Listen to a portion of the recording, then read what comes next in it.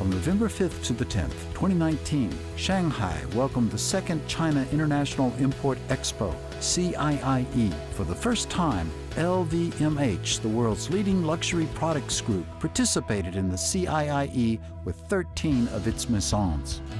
La France était un des premiers pays à reconnaître la Chine diplomatiquement il y a 55 ans. Similairement, nous étions un des premiers groupes de luxe à pénétrer le marché chinois. L'image de nos marques est intrinsèquement liée à l'image de la France et inversement à l'international en Chine. Quand les personnes pensent à la France, ils pensent avant tout à les marques par lesquelles elles sont représentées. C'était important pour nous d'être présents vis-à-vis de la France.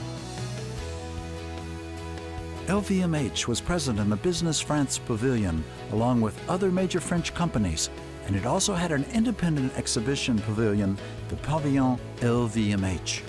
Inspired by the pavilions of the late 19th century, the Pavillon LVMH added an elegant, modern touch to the glass and metallic latticework of the time.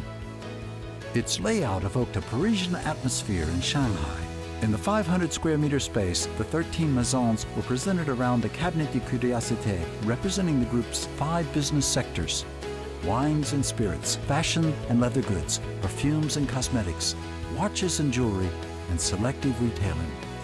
Each maison had a theme-based area to recreate its own specific universe and present its history and traditions, while offering visitors a uniquely modern experience. Immersive experiences and new technologies were used to demonstrate tremendous creativity and were rooted in their heritage.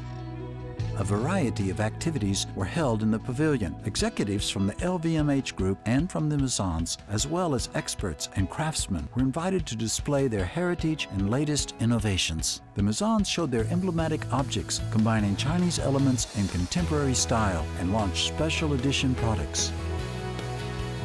Il y a une vraie reconnaissance du consommateur chinois pour euh, les produits de qualité. Les qualités, c'est vraiment euh, une de nos valeurs phares et on, observe euh, un vrai engouement, notamment en Chine, pour ces produits de qualité à haute valeur ajoutée que nous exportons.